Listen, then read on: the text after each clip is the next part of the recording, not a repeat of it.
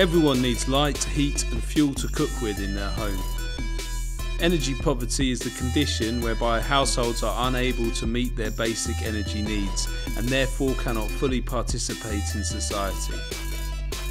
If you are deprived of energy services or you spend more on bills than the average household, yet your home remains cold, damp, or dark, then you are considered energy poor. This affects people across Europe, in urban and rural areas, in all parts of the continent. But in a time of growing inequality, some people are more affected than others. We need to make sure that governments and private energy companies provide fair and affordable access for everyone.